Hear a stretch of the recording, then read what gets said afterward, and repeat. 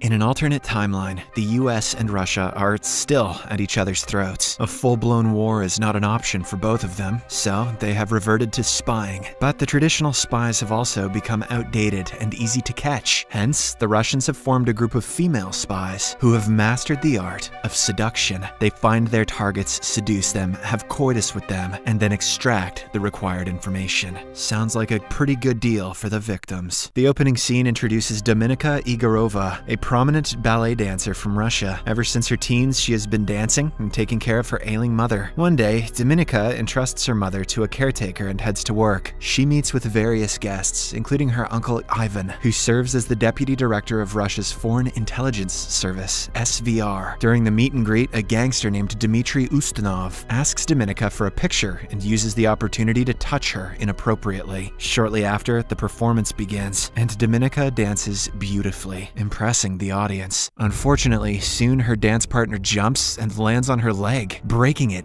badly. As a result, Dominika is rushed to the hospital for emergency surgery. Following this, we are introduced to Nate Nash, a CIA agent working in Moscow. One day, as he is about to meet one of his assets in Gorky Park, he is unexpectedly confronted by the police. Swiftly thinking on his feet, Nate creates a distraction by firing shots at the ground. This ensures the safety of the Russian mole, codenamed Marble, who escapes without being identified. However, Nate is taken into custody by the authorities during the chaos. He is then escorted to the safety of the American embassy, where he meets his superiors. They inform him that Marble is safe, but he is to be deported back to the US due to his mistake. The next day, Ivan visits the director of the SVR and General Vladimir Korchnoy. They show him video footage of Nate's meeting in Gorky Park and explain that their primary interest lies in the unidentified individual. The scene then shifts back to Dominika, who wakes up in a hospital bed to discover that her leg is now encased in a metal frame. She is devastated when she realizes that she will never dance again. Months pass, but Dominika is still walking with the help of a cane. One day, Uncle Ivan visits her and reveals that her replacement has been found, which means that her workplace will no longer provide her with any benefits. Hence, he offers to help Dominika and asks her to come to him once she's ready. Before leaving, though, he hands her an envelope containing intimate pictures of her former dance partner and her replacement, as well as a recording of their conversation, which implies that her partner intentionally caused the accident so that his girlfriend could take her place. This revelation angers Dominika, so she goes straight to the theater to keep an eye on her former partner and his girlfriend. After watching them practice, she follows them to the steam room where they start making out. In a fit of rage, Dominika attacks them with her cane, exacting her vengeance. On her way back, she stops by a phone booth and reports the incident as an accident. Whoopsie. After this, Dominika, now with her career in ruins, turns to her uncle for help. He agrees to assist her, but only if she returns the favor. The SVR is interested in gaining more information on the gangster from earlier, Dmitri, so he asks Dominika to befriend him and earn his trust using her feminine charms. Though hesitant, Dominika has no other choice, as her mother's medical expenses are too damn high. That night, Dominika goes to the hotel where Dmitri is staying, dressed beautifully, and heads to the bar to catch his eye. As she expected, Dmitri approaches her and asks how he can assist her. She expresses her desire to feel special once again, and they proceed to a private room, leaving Dmitri's guards outside. After a while, he asks her to undress and immediately gets to work like a madman. But right then, a person wearing a black helmet enters the room and murders Dmitri. The intruder then throws a coat at Dominika to cover her bloodied body and rescues her through the back door. The man turns out to be an SVR agent named Constantine, sent by Ivan. Soon after, Ivan comes to Dominika and presents her with a choice either become an SVR operative or face execution for witnessing Dimitri's murder. As expected,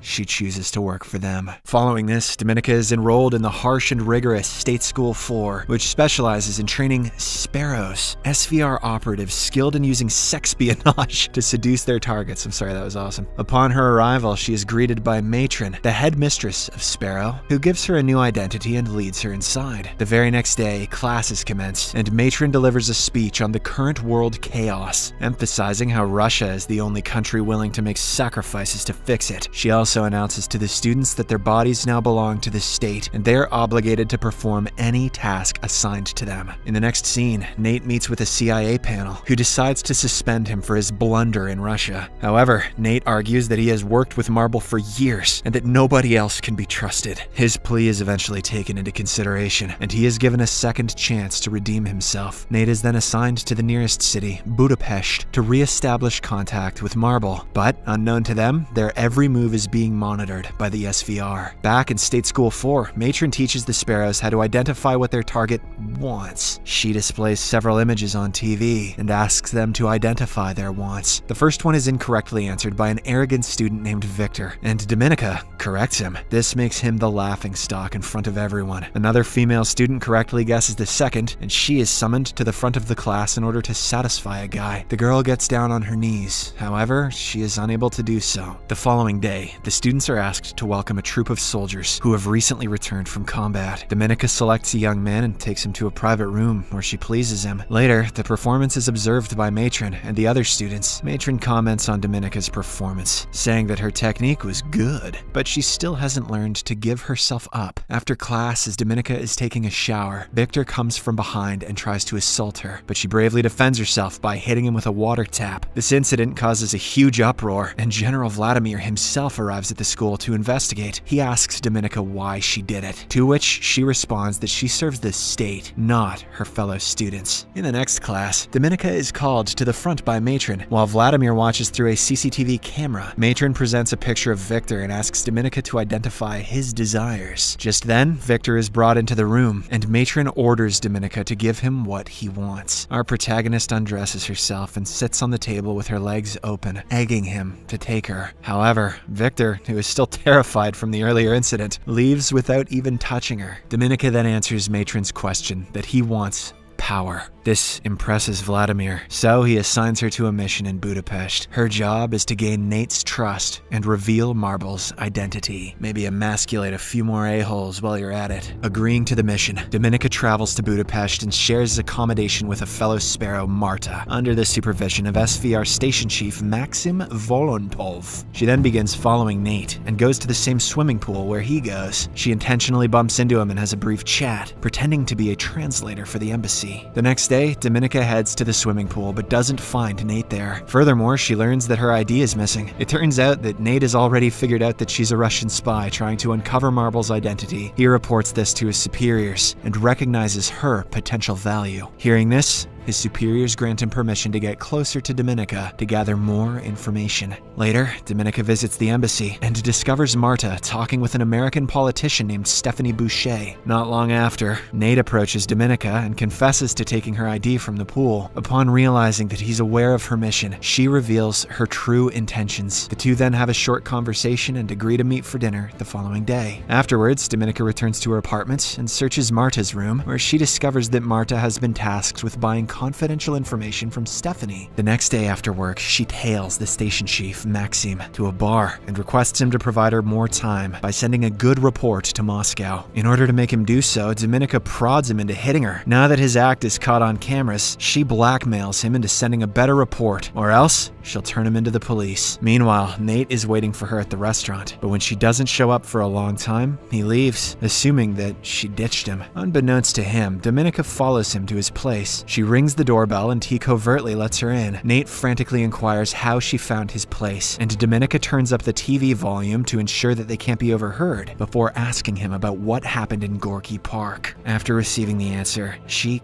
kisses him, but he stops her midway and asks her to go home. The following day, Dominika receives an unexpected visit from Ivan, who wants to check on her progress with Nate. Feeling pressured to buy more time, she makes up a lie and tells him that she's also working on Stephanie's case with Marta, but will require additional funding. Ivan gives it some thought and decides to leave for now. While getting his coat, Dominika manages to sneak a look at his passport to gather intel on him. Later that evening, Dominika returns home to shockingly find Marta's lifeless body in the bathtub before she can even comprehend what happened. Constantine, the same SVR agent from earlier, appears from behind and grabs her by the neck. He then explains that this is what happens to those who share secrets. Meanwhile, Nate informs his superiors about Marble's new message, which confirms that Dominika is a sparrow, although his superiors view her as a threat. Nate believes that she's still recruitable. The next evening, he brings Dominika to her apartment and admits that he knows her real identity. Dominika, in turn, reveals her story, emphasizing that her only concern is her mother's safety. Nate then offers her a deal to become a double agent for him, promising her protection in return. After thinking it over, Dominika asks if she can trust him. He assures her that she can, and the two end up becoming intimate. In the morning, Dominika meets with Nate's superiors, who subject her to a lie detector test to assess her reliability. Is this film a poorly cobbled together spy story that's using your body to sell tickets? Yes. She's telling the truth, sir. When she passes the test, she asks for money, claiming that she can buy them information from Stephanie Boucher. On Friday, Dominika travels to London with Maxim to meet Stephanie and execute the transaction. She stays in a hotel room that the CIA has specially prepared for her, with security cameras and a set of discs hidden under a desk, which she can swap for the real ones later. Shortly after, Stephanie arrives at the hotel, and Dominika approaches her, claiming that she was sent by Marta. Once Stephanie is convinced, she hands over the discs in exchange for the money. Dominika pretends to authenticate the discs, but in reality, she switches them with the fake ones. After the deal, Stephanie realizes that she's being monitored by American intelligence agents. In a state of panic, she throws the money in the trash and tries to cross the street. But unfortunately, she only ends up getting hit by a truck and dying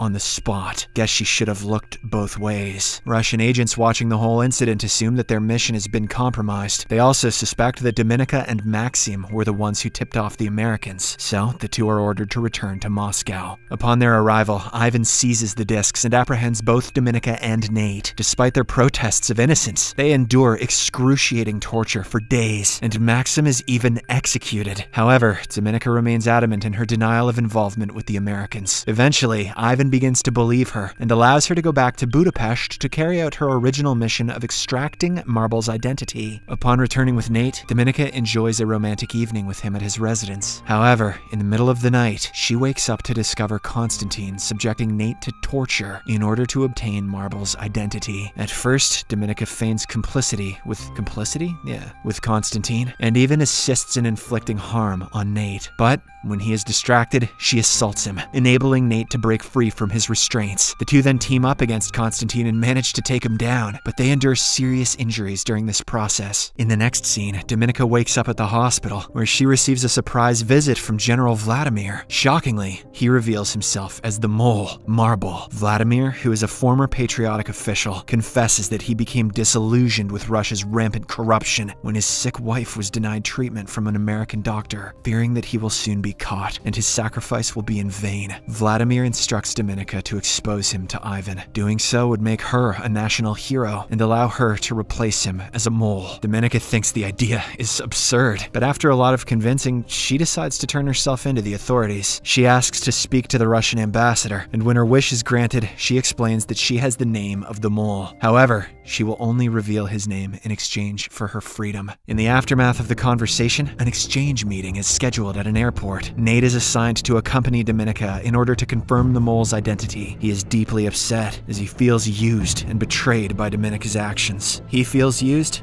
That's rich. However, she is a surprise for him. Shortly after, the Russians approach them with the mole, whose face, when uncovered, turns out to be Ivan. It is revealed that Dominika had been fabricating evidence to frame her uncle ever since she arrived in Budapest and even blamed him for the botched exchange in London. Shocked, Nate quickly confirms Ivan as the mole, and just after the exchange, Ivan is shot by a Russian sniper. After the exchange ends, Dominika is taken away in a helicopter. In the final scene, we see her being honored in a Russian military ceremony, attended by General Vladimir. Dominika is now living a good and free life with her mother, something which she had always dreamt of.